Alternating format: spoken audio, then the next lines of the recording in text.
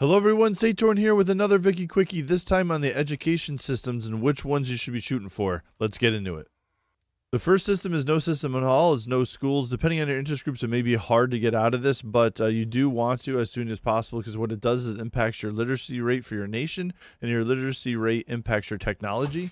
So here you can see your weekly innovations. Uh, our max is 131.98. You get 50 base value, but then we're getting another plus 81 from literacy. So you want this as high as possible, and you do kind of want this maxed out because what it does is, when you do choose a tech and uh, it's directed towards this, uh, then all that uh, innovation goes towards it. If you don't and you go over your max, then the rest goes to your technology spread, which is okay as well, but it's gonna kind of you can't really direct it, right? So uh, definitely the first thing you want to do is for sure uh, get out of no schools as soon as you can. The first real system is religious schools, and it's actually quite good. You get a plus 10% flat education access, which isn't bad. You also get a plus 20% conversion, which again is also, this is very good.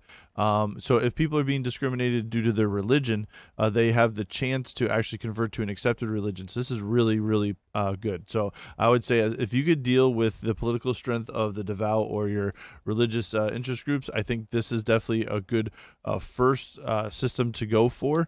And it's you know not that bad uh, as far as bureaucracy goes. You start your own education institution, and you'll be first level. And honestly, uh, I was at first level through a majority of my game, and I ended up with 50% literacy rate. The next one is public schools. If you're worried about your interest groups getting too strong and you're putting a lot, maybe you're at institution level five, and that's giving them, uh, you know, a huge amount of political strength. Uh, switching over to public schools isn't bad. Again, you get the same amount of education access, and the assimilation here, though, is pretty much worthless. Uh, the reason why is pretty much the culture can only be assimilated if they're already accepted. So it's uh, to me again assimilation needs to be reworked in the game. So public schools themselves is good if you're really worried about the interest group for religious schools. The last system is private schools, and it's pretty good as long as your population is definitely wealthy. Uh, the more wealthy they are, the higher their standard of living, the better this gets.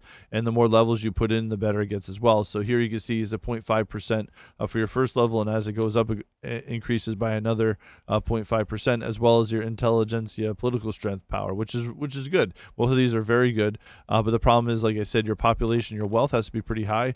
Uh, so right now, so middling, right, where um, majority of my population is at 16 standard of living. Um, so what that means is right now, if we did at level one, we'd only be getting what roughly eight percent access. So uh, level one for uh, public schools would be better, but now at level two it would be one percent, be at sixteen percent, and the same thing for public schools. So see, public schools still is going to be better, or even religious schools better than than wealth based.